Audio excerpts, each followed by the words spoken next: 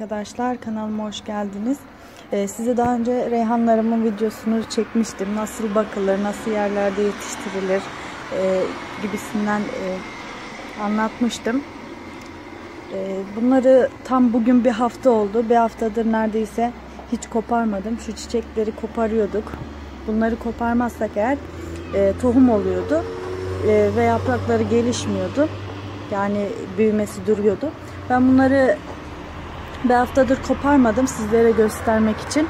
Artık da e, tohuma gitsinler. Yani bir dahaki sene tekrar ekebilmem için tohum almak da istedim. Bunun için bıraktım. Ben bunlara daha bir şey yapmayacağım. Şu şekilde size de göstereyim. Bunları böyle bıraktım. Hatta şu daha çok uzamış. Görüyorsunuz. Bunları bırakacağım. Böyle kendi kendine bunlar uzayacak. Kuruyacak. Bunun, bunun içinde e, tohumları var zaten. Bunları da kurutup bir dahaki sene tekrardan ekeceğim.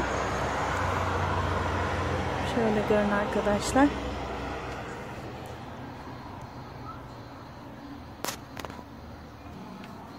Bunlar benim önceden diktiğim reyhanlarım.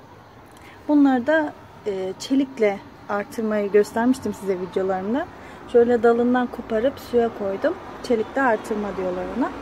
Bu şekilde şu öndeki küçük olanlar da bunlar. Sonradan çelikle diktiklerim. Bunları da böyle bırakacağım. Görüyorsunuz yapraklar ne kadar geniş.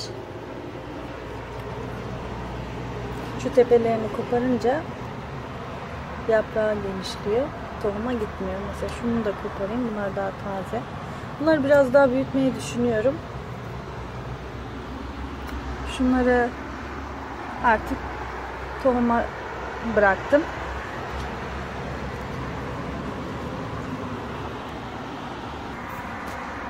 Sizlere daha sonra e, tohumları nasıl ayırdığımı, yapraklarını nasıl kuruttuğuma dair videoları da paylaşacağım.